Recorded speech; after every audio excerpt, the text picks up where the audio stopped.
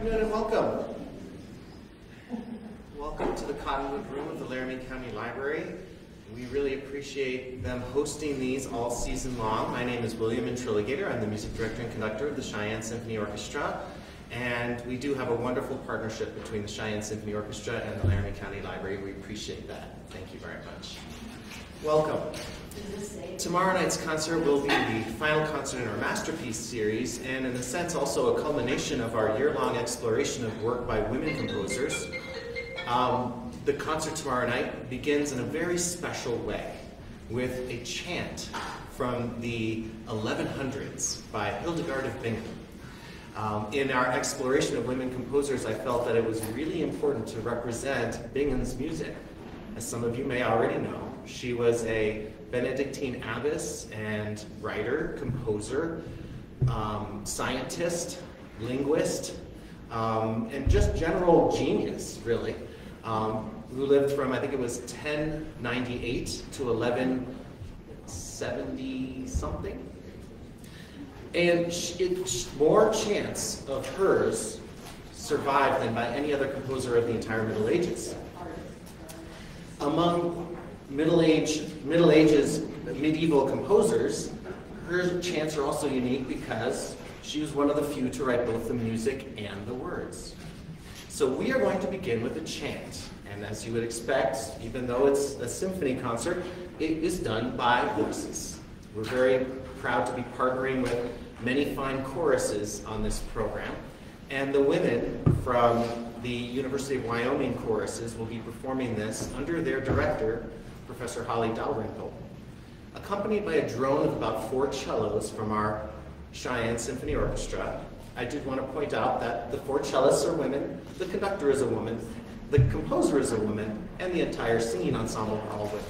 So that's very special. Let's hear it.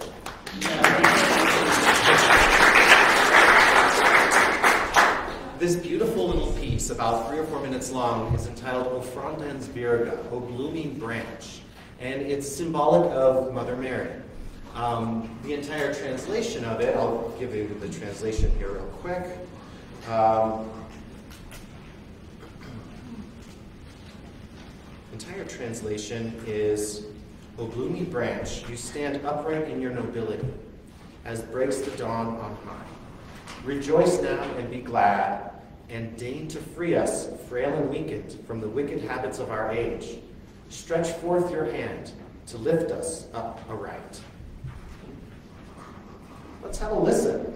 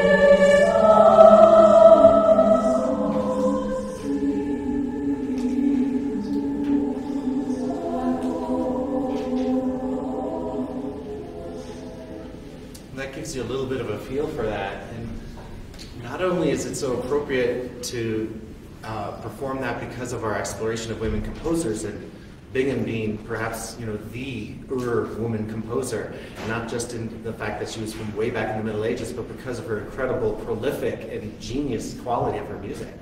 But also because this piece really sets the stage for this concert being a very different and special kind of symphony concert, one that maybe looks more inward and is um, searching upward, if you will, and one that has hopefully a, a deep kind of spiritual kind of experience in, in it.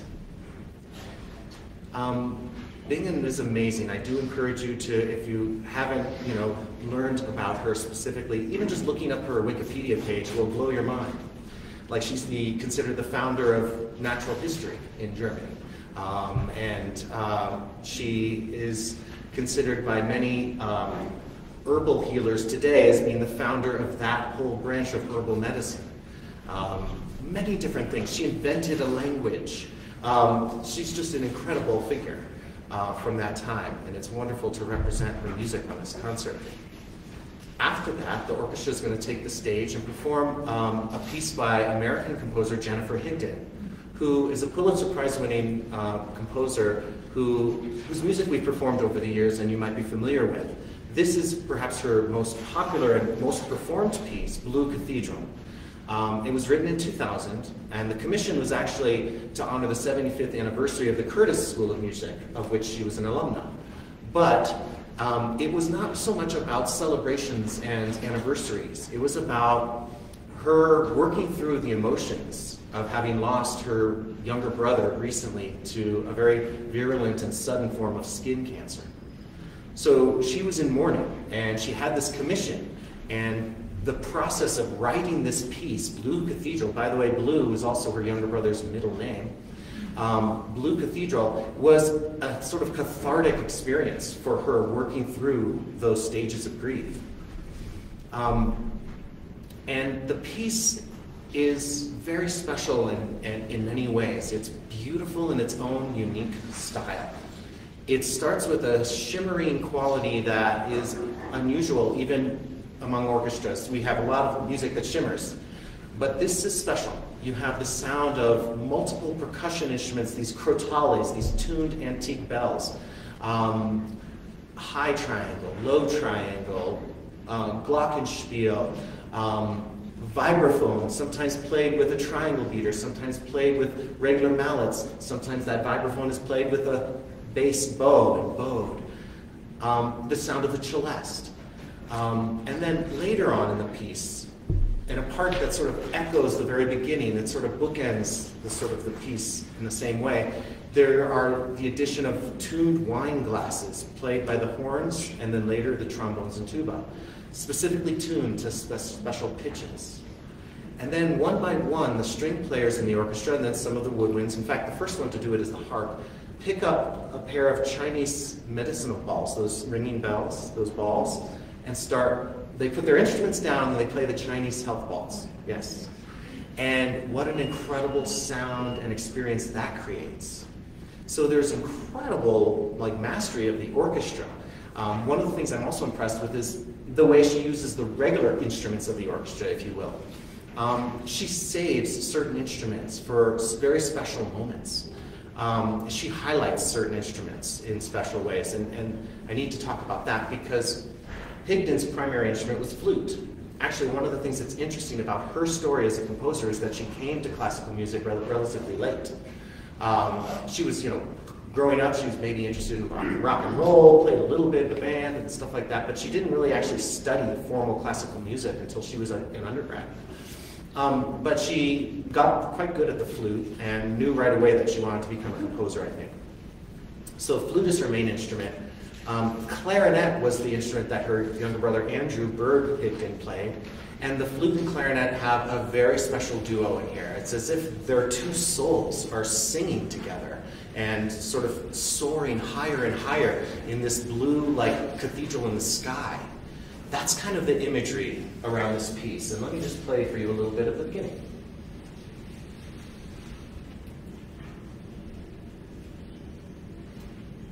It starts very quietly with the shimmering and the percussion. I have to really listen carefully. Then there's some warm, kind of consoling chords in the violas and cellos.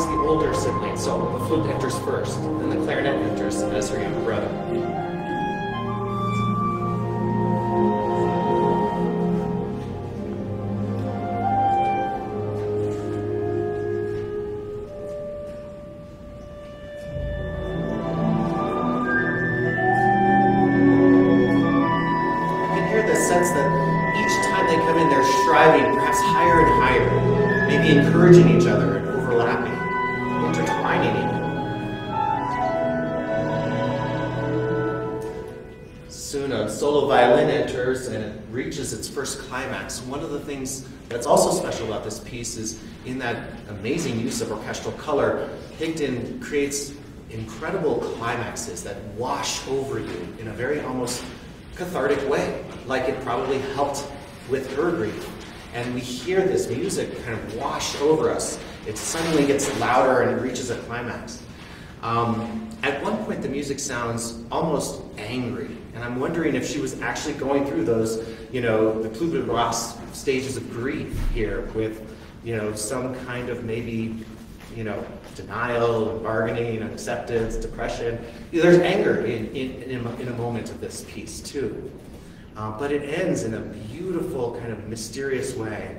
And, and another unusual uh, kind of instrumentation detail is that it also ends with a piano that's been prepared, as it's called, by putting screws in between some of the strings of the piano. You have to open the whole thing, you know, put in a very specific way. This is done so that the piano sounds like a tinkling, like music box from far away, like reminiscent of childhood very beautiful and moving. So this piece kind of has a sense of crescendo, a couple crescendos, and then it, it fades out kind of in a way like it started very quietly, but with those wine glasses, the Chinese balls, and with those um, that prepared piano along with the other percussion instrument and other instruments.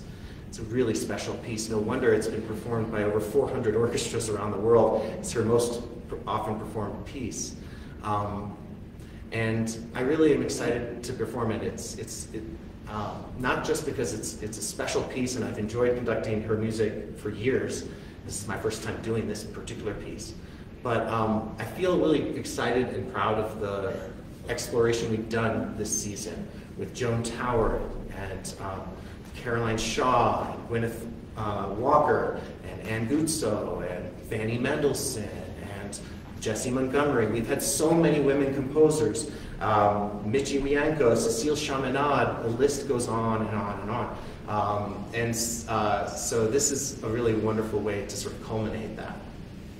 And we will continue to explore women composers in future seasons. In fact, even on our Baroque in the Barn concert next month and Symphony at Sunset concert in June, we will also have women composers. So you can see I was a little obsessed with it. Now, let's turn to the Brahms. The Brahms, a German Requiem. Sometimes we just say German Requiem, but the title is a German Requiem, which is significant.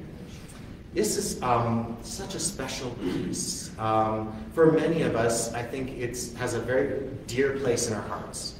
Um, for many singers, it has a dear place in their hearts. He specifically wrote it with um, the idea that this should be accessible to amateur choirs. And that's one of the things that in the early years of its success um, helped it to gain kind of acceptance around the world.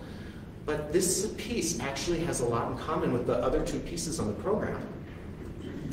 Um, we heard a little bit of the Bingen. One of the things you might have noticed, um, if you're very musical, is that it was sort of based in the key of D, and on the high points in the Bingen chant, where she wants to emphasize a certain important word about Mother Mary's character, like her nobility or the, her outstretched hand. She goes,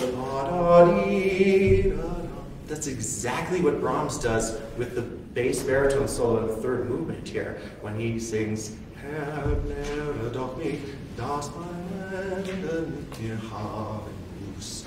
Fascinating. Also because Brahms really studied ancient music. There's more focus of him studying Bach, Handel, and Schütz, not so much Bingen, but I just wonder, that similarity is, it was a total coincidence.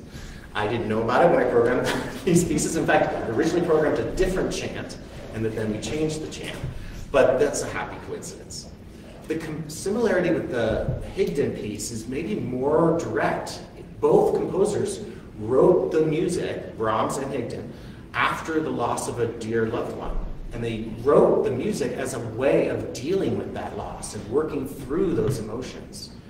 See, Brahms, um, well, actually, this Requiem, the German Requiem by Brahms, it, it, sort of commemorates two, at least, important people in his life. Um, and, and so his very dear friend and sort of musical mentor, Robert Schumann, had passed away in 1959, or, sorry, 1859, I think. Um, and that devastated Brahms. And he was so close with the entire Schumann family. Um, and among Schumann's um, notes that Brahms had discovered um, in like his diaries and ideas for sketches for other pieces that Schumann had not gotten to was the idea for a German requiem. That's what Schumann wrote. That planted the seed already. Um, and then in 1865, Brahms got a call, or a call, you know, he was Instagrammed actually.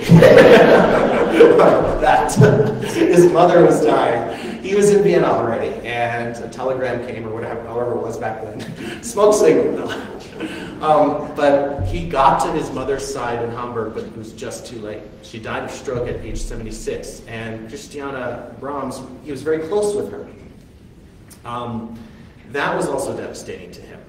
Let me just explain that with the Brahms Requiem, we're, we're talking about a piece written by a young man. We think of Brahms and we think of this old guy with this long white beard. Well, he wasn't there yet. When he wrote this, he was young, blonde, fit. He was like 31 when his mom passed away. Um, and so, over the course of the next year, year and a half, some of the time which he spent in Switzerland, in this beautiful area overlooking this lake that was reflecting a giant mountain. He worked through some of these emotions and wrote some of this incredible music. The other thing to remember is that this was before he wrote any symphony. So he had written a few orchestral pieces and, and he was sort of had some sketches. In fact, an early sketch for a symphony that turned into his D minor first piano concerto included a part that later became the second movement of this piece. But this was Brahms's first time writing for an orchestra, like a real orchestra. I mean, um, other than a few other little pieces, this was his first time. And it's interesting because also, this is the longest piece he wrote, and it has the largest orchestra that he ever used, with instruments that he didn't always use. Piccolo, sometimes very low piccolo, which is unusual. Um, contrabassoon, the big double bassoon. Um, trombones, of course, he uses those quite a bit, but he uses trombones and tuba. He sometimes is reluctant to use tuba. It's only in one of his four symphonies. Um, harps, he calls for two harps. That's, you know, obviously not in any of his symphonies, if you know them well. Um, he has organ in this piece. So there are uh, different uses of, of different instruments, but then also he holds certain instruments back. The entire first movement has no violins. No violins. Like you think violin is like the heart of the orchestra, right? Like the main melodic voice of the strings. No violins. Like his serenade, that is, he has two serenades. One of them is also scored for the entire piece as no violins. He's going for a darker coloration in that movement. He's leaving out clarinets. He's leaving out trumpets. Strange that he keeps flute and oboe, the higher voices of the Woodwind family, but I think that's because flute specifically offers a feeling of hope. And that's so important even in this first movement, where this piece, when we get to the sort of the meaning of the piece, um, is it's unusual for requiems because it's about us. It's not about those who have just died. It's about consoling the living. I'm kind of waiting to bring up our star soloists to just do all this, but I don't want to keep you guys, and I'm sure you have things you want to say. So I'm going to like pause for a moment and tell you that we're very fortunate to have wonderful vocal soloists joining the orchestra and chorus in this piece, and they're here with us today. That's why these chairs are here. So I'm sure you have things to say about all this stuff that I'm talking about. Please join me in welcoming to the stage Jennifer Bird Arvidsson and Rhys Lloyd Talbot.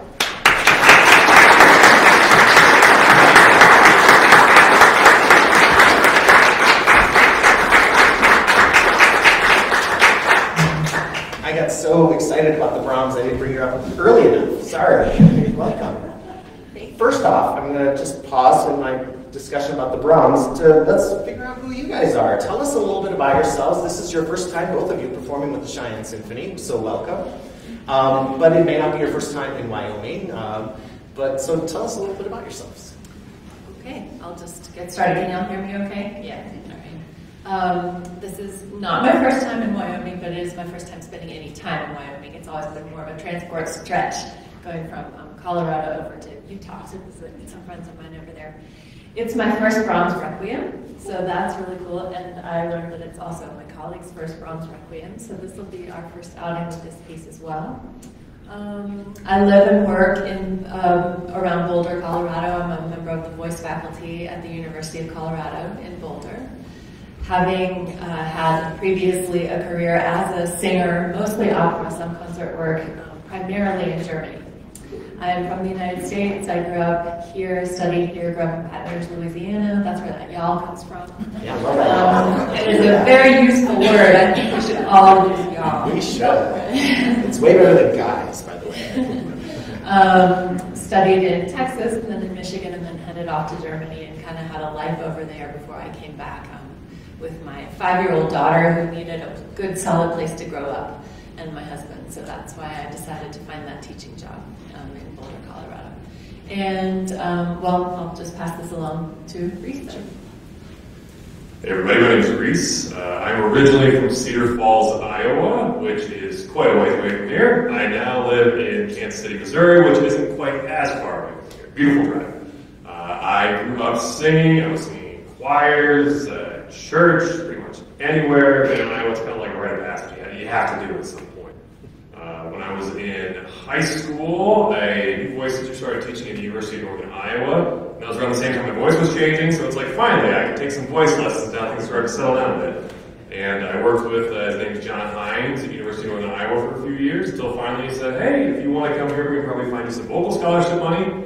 I said, that sounds great. I'll go to college in my hometown, study voice, and uh, it's taken me a lot of different places. Coincidentally enough, actually my wife at University of Northern Iowa as well. She's from Kansas City originally. Okay, try, try and She went to University of Missouri, Kansas City. I went to University of Northern Iowa.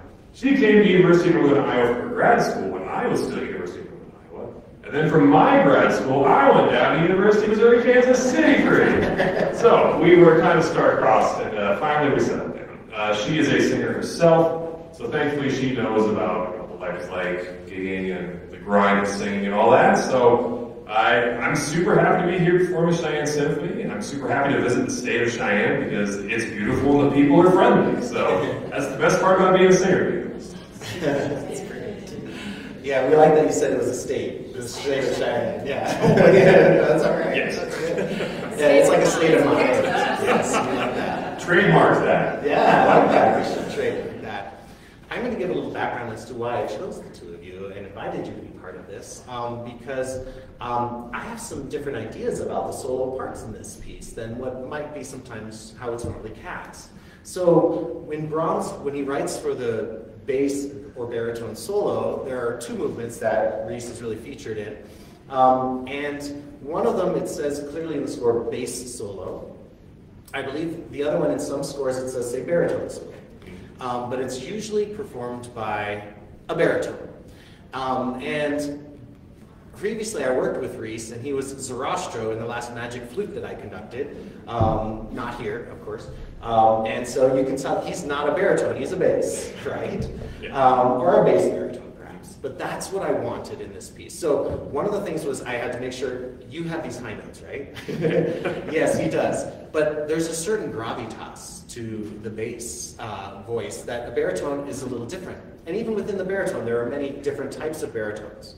But that, this is the kind of sound that I was looking for um, that I thought Brahms would have wanted. So much throughout his score, he's tending the darker and lower instrument voices as well as in the chorus, too. There's a lot of times where the altos um, can double the tenor line because the tenors, that's just kind of where they are, you know, things like that.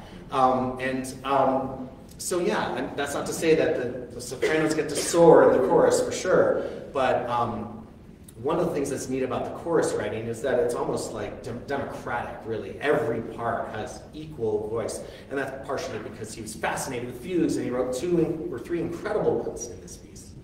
So that's why I was thinking Rhys was an amazing Sarastro. So let's bring him in to do this. Man, that's, that's why I like this guy. Yeah. so you didn't know any of this. No, it's great. I know. And then Jennifer and I just met for the first time today, but in my research about her and the style of singing and the type of soprano that she is, I thought that it would be perfect for this because, well, you can tell us, I mean, how many different types of sopranos are there?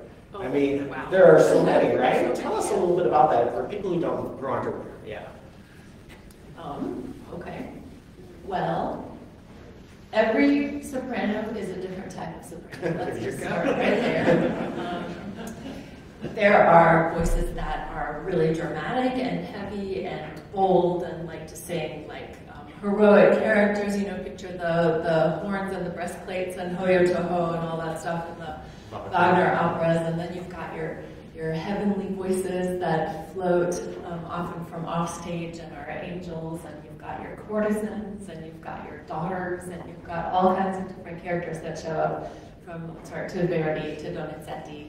Um, all the mad scenes, right? How many different kinds of sopranos do we hear doing things like that? A lot of um, soloists in Carmina Burana or Beethoven's Ninth Symphony or some works that we often perform with um, orchestral forces be familiar with as Friends of the Symphony. You can imagine the different kinds of soprano voices right. that there are. Yeah. And sometimes in this piece, it's often, not often, but sometimes performed with a, a heavy dramatic soprano, um, which I find is perhaps not in my interpretation for the type of sound that Brahms is writing in the orchestra there. It's one of the most intimate sections of the Requiem when Jennifer sings her solo in the fifth movement. Um, the scoring is focused on the woodwinds and very light, beautiful string writing. The chorus is extremely faint in, in the background. Um, and in, in that sense, I felt that it had a sort of maybe a lighter, intimate kind of quality. I know Jennifer has done a lot of Bach and has done a, a wide range of kind of roles, but I specifically didn't want like a Wagner soprano for this. Although, you know, there's a great recording of people like Schwarzkopf doing this and things like that. So that's kind of a little bit of background about, about that as well. So and like I said, this is their first time hearing that. but any thoughts on that? I look forward to being able to be heard over the orchestra. That'll be fun. it will. Um, so, and, and feel free to jump in at any time. I was saying earlier that one of the things that's special about this requiem, and I think that was unique and um, like revolutionary, if you will, uh, when Brahms wrote this, is that other requiems focused on the, the Catholic Requiem Mass and the Latin text that focuses on those who have passed and, and have making sure that their souls are saved and that they're, you know, that they, they go to heaven and that, you know, the judgment is um, favorable. This is, a, this is a requiem that deals with those of us left behind.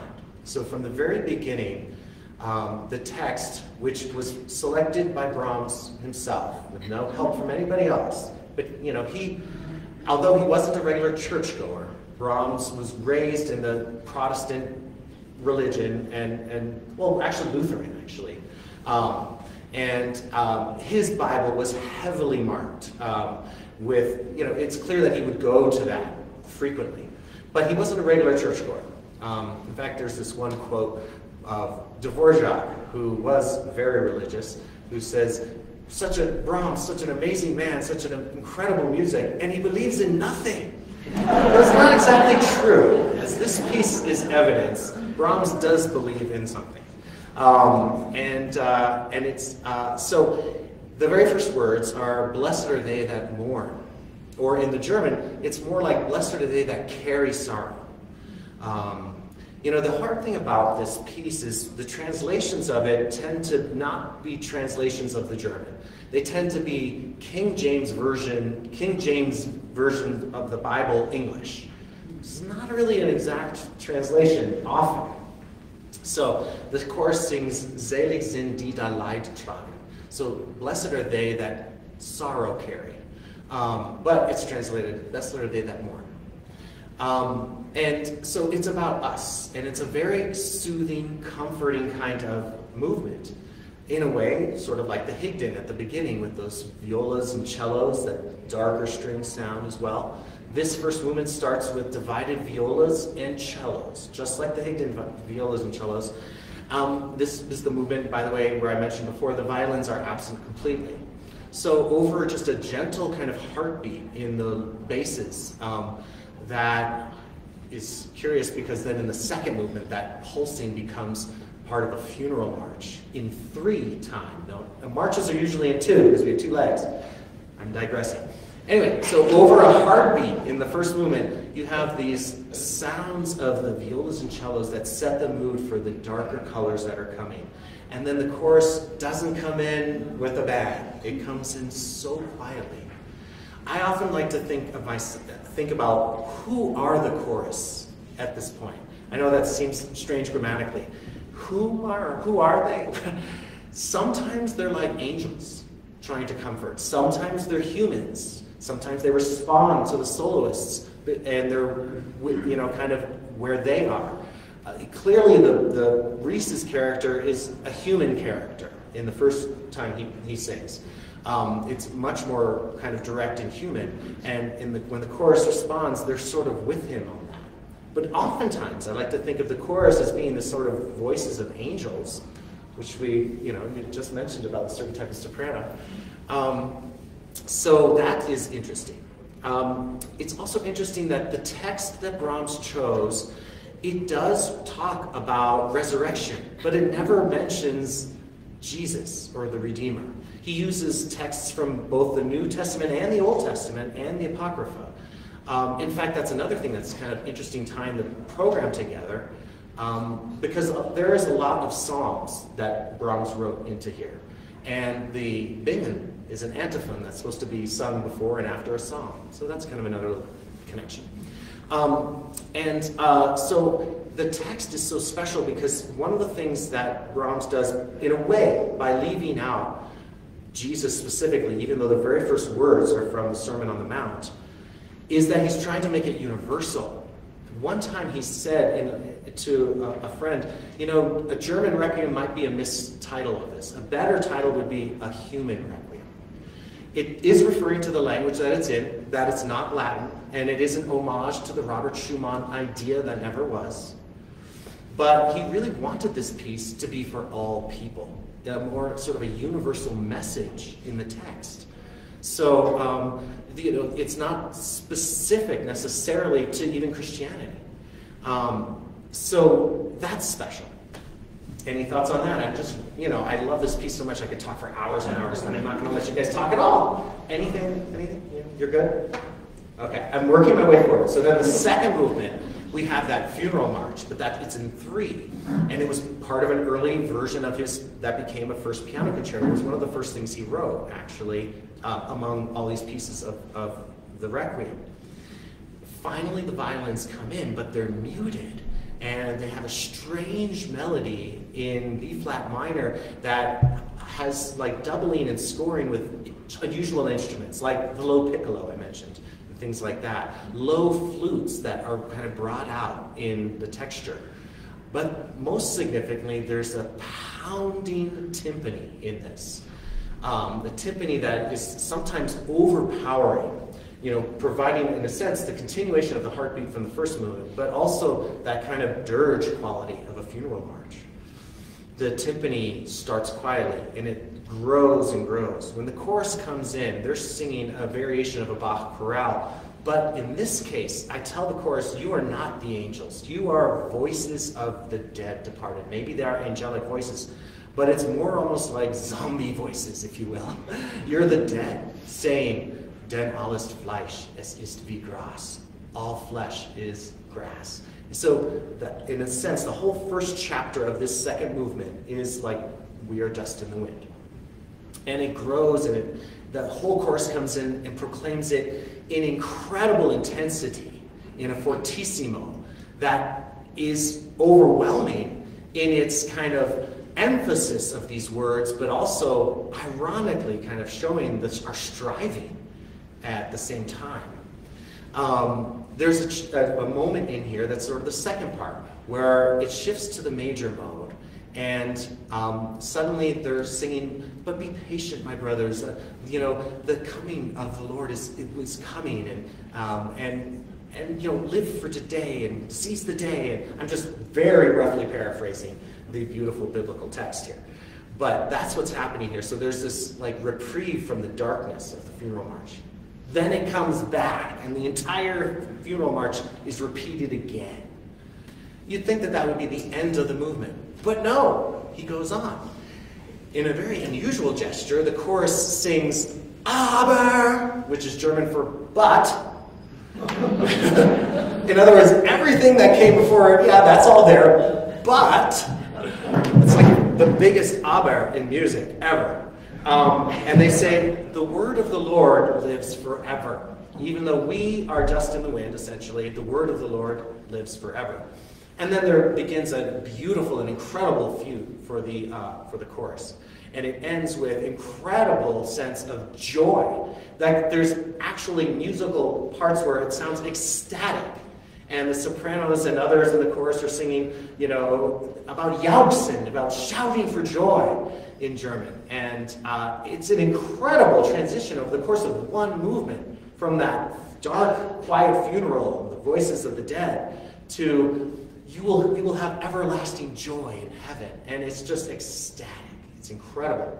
It's so incredible, in fact, that after a, a musical high point, the chorus is stunned into silence almost. The orchestra plays for a little bit, and then they repeat some of the lines that they said in a quiet pianissimo, like, can't believe this. And that's sort of how that movement ends. These first two movements have been huge already. There are seven movements.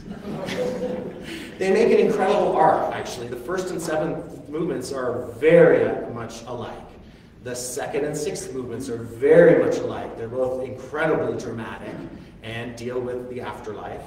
The third and where my fifth movements are very much alike because they bring in the soloists and make it so much more personal. And then that little part in the middle, at the top of the arc, is the fourth movement where the chorus sings about how beautiful heaven is. So there's this uh, incredible trajectory that is really well thought out architecture. But bear in mind that actually the fifth movement was added after the first performance. Um, and actually, the very first performance was only the first three movements. Brahms was very hesitant to share this piece strange that, you know, he wrote it shortly after his mother died. He wrote it relatively quickly in the summer of 1866. The first performance was in 18, late 1867, just the first three movements. And then it was in, I think it was um, on Good Friday of 1868, the first full performance happened, but the fifth movement wasn't written yet.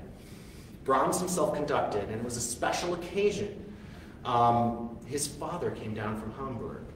Frau Schumann, Clara Schumann, came for the performance, and Brahms specifically brought her to her seat and then went up to the podium to conduct. Um, also, dear friends of his, Max Bruch and Joseph Joachim were there, and many others. It was a big triumph for Brahms, but it was also an incredible emotional time. This would have been two years after his mother passed away that he finally was able to share this piece that was his own sort of musical kind of working through of grief to the public.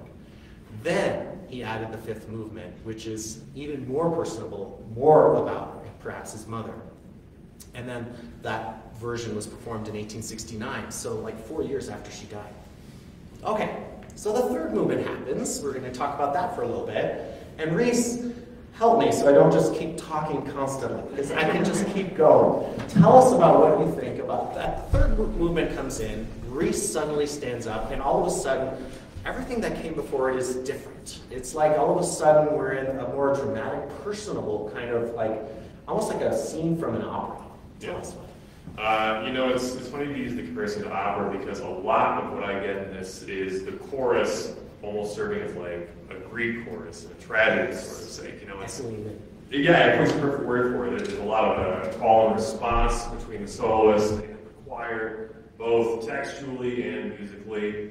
Uh, it's it's really really kind of stunning. And if I had to if I had to summarize everything kind of just like in, in one sentence, it almost makes me wonder if uh, maybe Brahms was a Shakespeare fan because it's like, "Good night, sweet prince, Schumann," and "May choirs of angels sing thee to thy rest." And that's to me what this entire movement is, kind of a nutshell.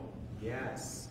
You know, it's like a prayer. It's a more personal kind of statement, um, using words from the Bible, but saying, you know, uh, you know, help me to know that my, my life has a purpose, um, and you know that you know where will I find comfort in this?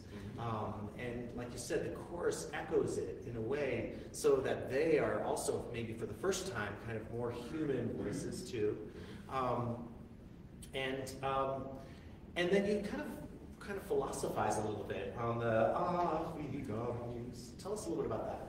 Yeah, it's really dichotomy from the first half, where the first half definitely seems like someone who's very uh, introverted and, and mourning and kind of to themselves. But then the, the B side, seems very, it's almost optimistic. It's like the whole tone shifts to like a D major tonality, and it, even textually, it's, it's far less morose about death. But interestingly enough, there's kind of like an addendum to that where it returns to that original theme, the hey, but with like a different text at the end. So it's it kind of shows how grief isn't just you deal with it, you get over it, you move on, but everything is so cyclical and eventually you kind of get back to your life without even realizing it.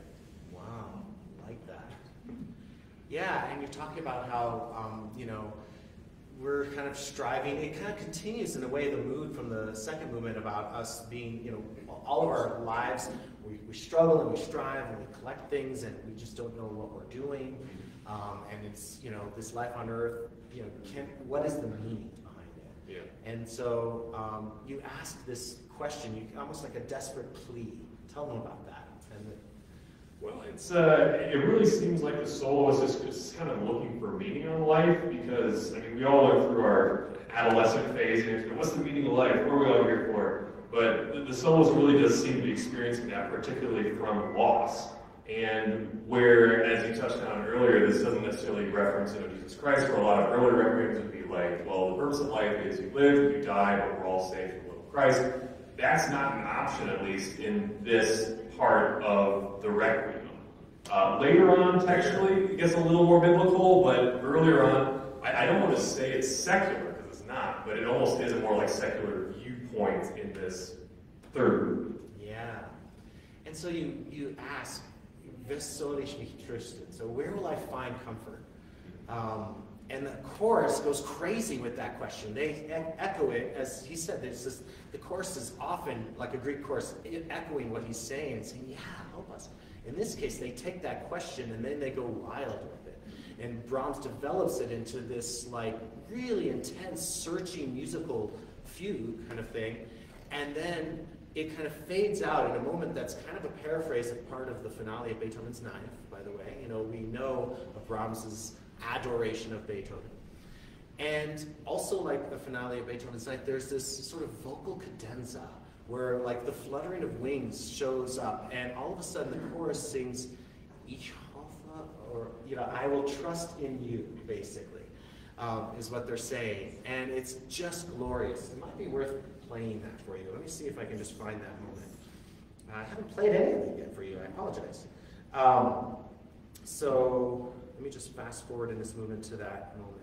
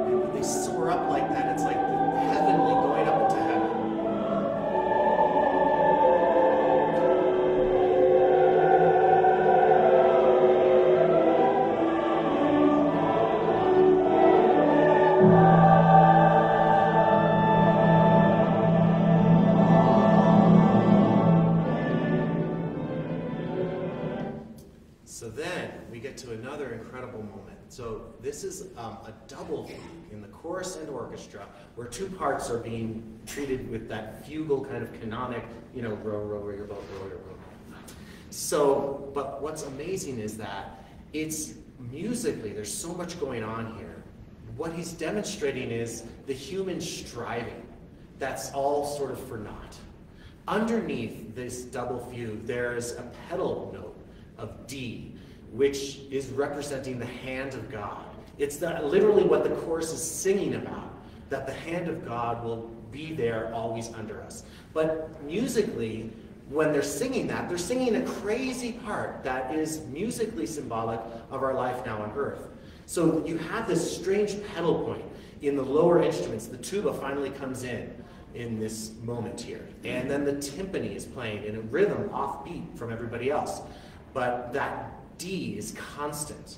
It actually infuriated some people at the first performance. His otherwise very sympathetic music critic, Hanslick, said that it was the feeling of like going on a really fast train, uh, like going wild through a tunnel, and, and, it was just like off the rails. But there was this, we were uh, stuck on that D, and it, it's infuriated people who, who had that like level of you know musical literacy and hearing that at that first performance. For us, I just want to point out, because you might not notice it, the, the pedal isn't loud and in your face. It's like a pedal of an organ, right? It's just, uh, doesn't move. It's just one note. And it's not, there's all this striving of humankind above it, but it is the hand holding all of that underneath. Thoughts? Oh, I, I think you, I couldn't put it any better than you just said, to be honest. I was okay, totally impressed with that. Jennifer, anything? Okay, I'm putting you guys on the spot a little bit, but I don't want to just hog it. All right, so you can tell I love this piece a lot. I can just go on. So the next movement is the fourth movement. It's that sort of middle part of the arch. And in a way, it's kind of like an oasis, if you will, um, of the questioning, of the comforting even, um, of the mourning even. So this is a beautiful vision of heaven. How lovely are thy tabernacles and sometimes it's, it's such a well-known and well-loved piece, it's excerpted from the Requiem many times and just performed a, as its own beautiful choral piece. Some people have heard that it sounds like nature and that he uses a wonderful use of the woodwinds and French horns and to give it a sort of outdoor quality. Other people think it sounds like he's depicting heaven. And so there's, there's a lot of different ways to interpret it. It's true, though, that in every movement, from an orchestral standpoint, there's a different orchestra in every movement of the seven orchestra uh, of the seven movements and that's part of his genius. It's part of his way of trying to keep the listener and their ear kind of still interested and alive and keeping it varied you know? Here's a little bit of this so famous uh, fourth movement. Let me see. Sorry this recording is not coming through great. Um, here it is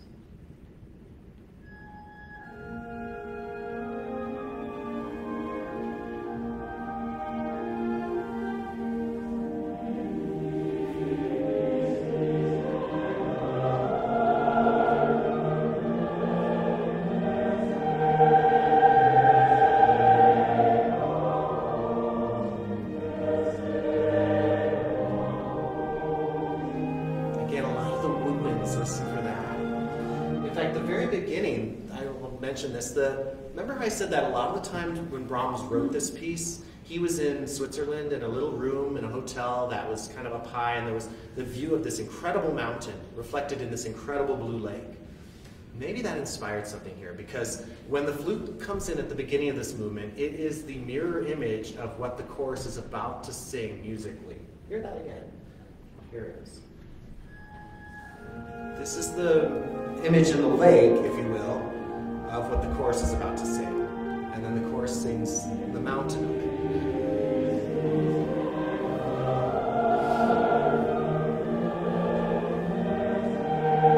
Beautiful.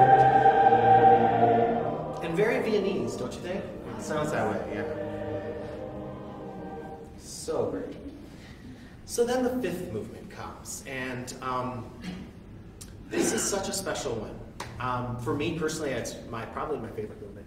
Um, it's so personal. It's incredible that Brahms ever have, after having lost his mother, and actually already had this piece fully performed, decided to add this movement. Um, maybe it took him three years to be able to write it and present it and add it to it, the Requiem, because of how deeply he felt the loss from his mother. But this is the voice of a. I should ask you what you think. I don't want to. I don't want to. I have my own ideas, but Jennifer, tell us. This is your moment. So, tell us how you view your character in this. It's pretty ethereal, so it's tempting to think of it as some sort of angel that comes and says, um, you know, life is rough, but everything will be okay. But there's also something very human in the text. It's not entirely otherworldly. It's sort of like, I've been there with y'all, life is rough, and it will get better. So it's more like a very loving voice of experience. So an older mother, Yeah. maybe, kind of voice. Um, just thinking about it a little bit. Um, I was thinking all kinds of interesting things about this. Um, it would be really typical if you added a movement that if you felt that the piece needed something very serene and something very comforting, it would be tempting to go in and say, hey, everything's okay, you know, there's, there's love in the world, or life is not so bad. But the very beginning of the text is, ihr habt Traurigkeit, which means you, you have sadness. It's like calling a spade a spade. Like, I'm not going to tell you all that life is easy, because it's not.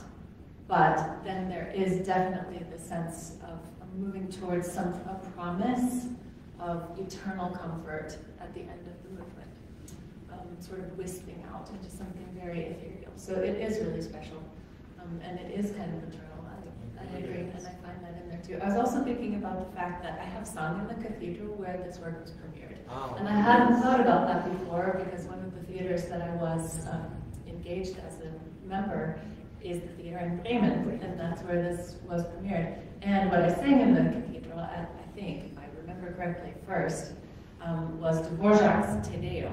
What a piece. And so I was just thinking about how interesting that is because Dvorak and Brahms had this special relationship. Um, and so I can kind of put myself in that space. There's, it's one of those ones where you've got, you know, the, the huge, open, amazing space, and oh, it was cold in there. Wow. um, and, you know, where the, where the minister uh, stands, and, and then we were up in the balcony, sort of up at the back, so I can just imagine being in there and trying to sing that. Yeah. That would make it easier. It's one of those medieval cathedrals that's all Yeah, it's all right? stone. Yeah. It's all stone. Oh, Very it's cool. incredible. Yeah. So you're right. So the voice first says, "You all have have sorrow, but it will be okay." And like a mother, I will comfort you. Is basically what she's saying. And it's interesting that over and over again in this movement, the text is not you one, but you all. You were talking about y'all. It's a funny thing. Constantly saying ihr or eure. It's not du. It's it's you all. It's a plural. She's addressing all of us. She's addressing all of us. But maybe that was also Brahms's way of making it less obvious that it was his mother comforting him. I don't know. Perhaps. I was also thinking, so I teach a German song lit class at CU Boulder, and so we spend a fair amount of time on Brahms, not enough time, but a little bit of time. And um, in sort of investigating his persona and the things that happened to him in his life, obviously there's the relationship with the Schumanns, and his relationship with Clara is very colorful and interesting. Um, and he ended up down there in Vienna basically being um, a fairly wealthy but very um, he lived very much below his means while he was down there, and he was known for taking these long walks out in the woods and, that beard. He was kind of like, looked like an old hermit out there, but he was also a great teacher and a great supporter of his students. He was very generous to them with his time. And the, the story about Brahms and his personality is that he's that guy that's like really cranky and cantankerous, but if a little kid or a puppy dog runs up, he's all love. Yeah. You know, so he's like one of those guys that maybe didn't have a lot of appreciation for the everyday foibles of individual humans, but taken as a whole, or human beings, the promise of life and all that stuff was very, very important to him. And I find that in this work as well. Absolutely. Oh, I'm so glad you shared that. Yeah. And of course, he was also very scholarly. He was kind of bookish, and he was one of the first, like, of the major composers who spent so much time just steeped in the music of the past. And you can hear that in this. Not only the Beethoven and quotes from Bach chorales, Um, but Schütz and, and his requiem text, text settings and things like that. But yeah, that's fascinating. Um, one, you mentioned that he was wealthy, but he lived below his means. I, it goes. I should mention that this is the piece that made him wealthy. so this is the piece that you know he was still in his 30s, became his sort of signature piece and known around the world. Um, but yeah, so this idea that there's this motherly figure who's coming to comfort us in this movement. She says in the sort of B section of this movement, take my case for instance. Look at me. I suffered and I worked hard and I tr- troubled and now everything's fine.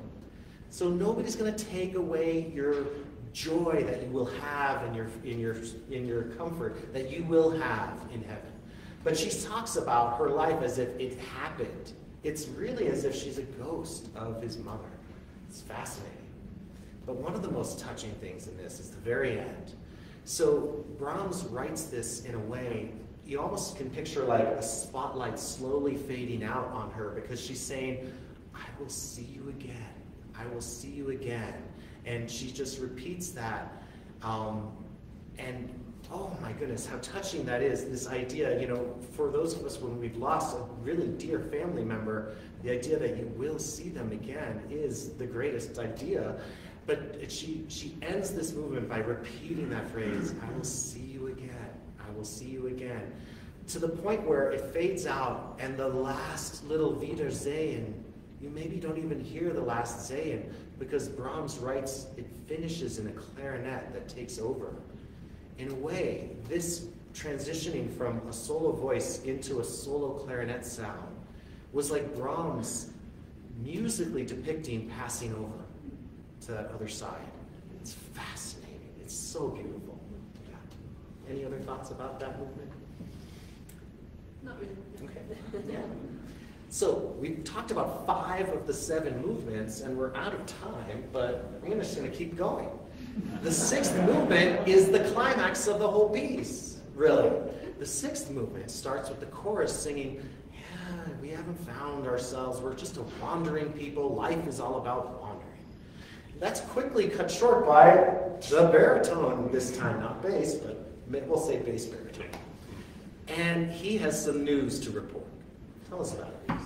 So it's so funny because the, first time I listened to this, I was uh, I was going on a long trip and I heard the music. I'm like, oh man, this is real fire and brimstone music. This is really cool. I'm getting I'm getting motions of like Mozart's Dies Irae for his requiem and all that. And then when I finally get a chance to go back, I look at the CD, CD you know, booklet on the inside, and uh, it has the, the text in there. And I realized, well, this is the exact same setting as the trumpet shell sounds in the Handel's Messiah, but where in Messiah, you know, that one, it kind of holds the listener's hand and is very optimistic. Like this one, as I said, is it's so like fire and brimstone and just like, I don't, I won't say dark, but it's very intense, you know? The, it's very intense. Yeah, yeah. The, the, twinkling of an eye is less so a twinkling so much as like a supernova of an eye, basically. it's, it's great, I love it. Yes.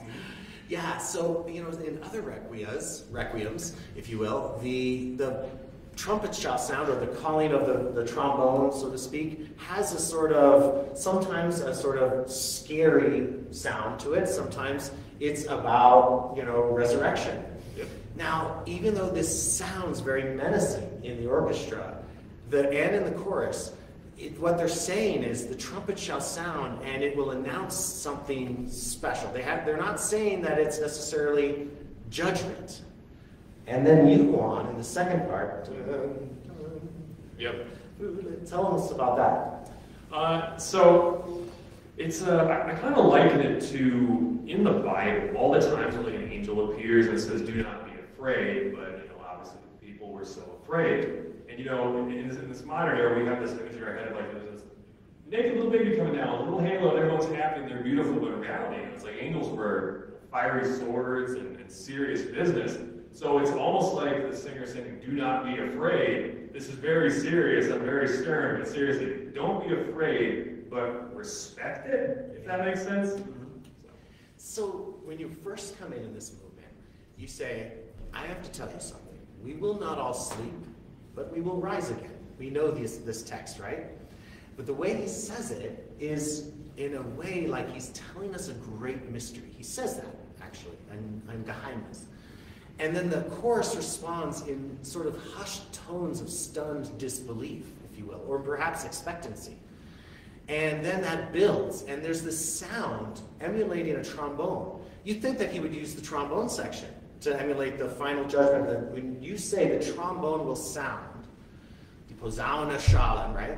And you'd think that Brahms would use the trombones. No. He already has the trombones playing to make it sound sort of holy because they're church instruments. He creates this mega trombone like sound with lower strings and lower other instruments going when Rhys and the chorus are singing of the time of the last trombone. That's exactly what's happening. There's this amazing sound. I'm tempted to play it, but maybe we'll just let you experience it tomorrow night. Yeah. So then, he says, you know, we will all rise again, and um, that's when the chorus just goes nuts. They say, Death, where is your sting? Hell, you know, where is your, you know, death is swallowed up in victory. And this whole thing that sounds like fire and brimstone is a victorious thing. It's, I mean, it's Brahms writing in the sense that we, there is a resurrection.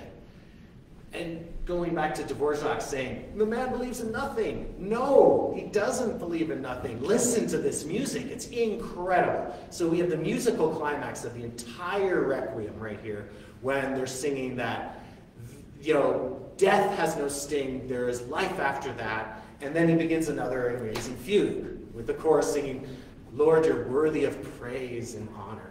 And, and your strength is, is, you know, is amazing. And so that's how this movement kind of culminates. Then we get the seventh movement, which is like that mirror image of the first movement. Um, this time, though, with violins, and the harps play an important part at the very end as if we're going up to heaven. Finally, the text is about those who have already died. So, you know, we're mourning from the very, very beginning of the first movement, and it's comforting us who are mourning the loss of our beloveds. This seventh movement finally says, Blessed are they who die in the Lord from henceforth. And the Spirit, when, when the text says the Spirit speaks, the Holy Spirit, there's this incredible Brahms chorale and trombones that is so special. And the Spirit says that they will rest from their labors and their work will follow them. Interesting. I've, you know, I've conducted this piece for over 20 years, um, different times, and I am always fascinated by it. Sounds to me in the last movement that he's saying that our work here on earth will live on after us. But yet, in the second movement, it's very clear that all mankind is but grass, and all of our accomplishments are but flowers that are going to be withered. So there's this interesting dichotomy. You know, but the very one of the first times that the chorus sings that the, our works will follow him is an incredibly tender, beautiful setting. Very tempted to play it for you. It's just such a special moment um, that um, it's almost as if Brahms is maybe self-reflecting that this piece might follow him after he's gone. Let me find that.